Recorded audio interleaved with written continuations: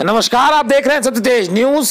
उत्तर प्रदेश की राजधानी लखनऊ में हड़ताल पर बैंक अधिकारी व कर्मचारी।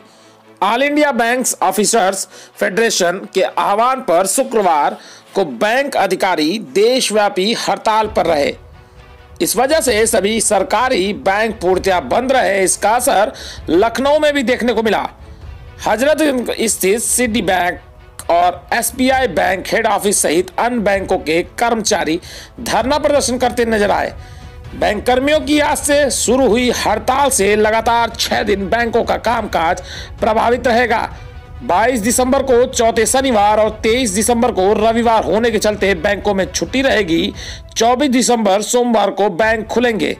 अगले दिन 25 दिसंबर को क्रिसमस और 26 दिसंबर को अधिकारियों के साथ बैठक, कर्मचारियों भी हड़ताल में शामिल होंगे। ऐसे में बुधवार को भी बैंक का कामकाज ठप रहेगा। बैंक कर्मी ग्यारहवें वेतन मान की लेकर इसके पहले भी हड़ताल पे थे। इसके बाद भी मांगों की सुनवाई नहीं होने के कारण आज फिर हड़ताल की और आगे अनिश्चितकालीन अनशन की चेतावनी भी दी। आप देख रहे हैं लखनऊ ब्यूरो की रिपोर्ट।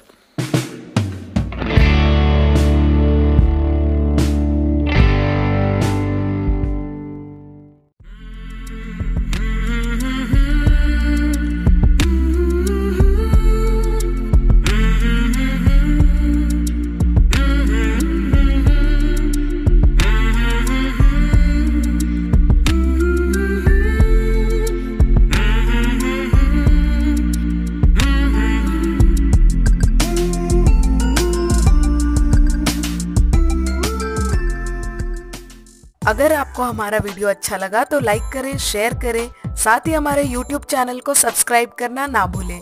लेटेस्ट वीडियो अपडेट के लिए घंटी बटन दबाएँ।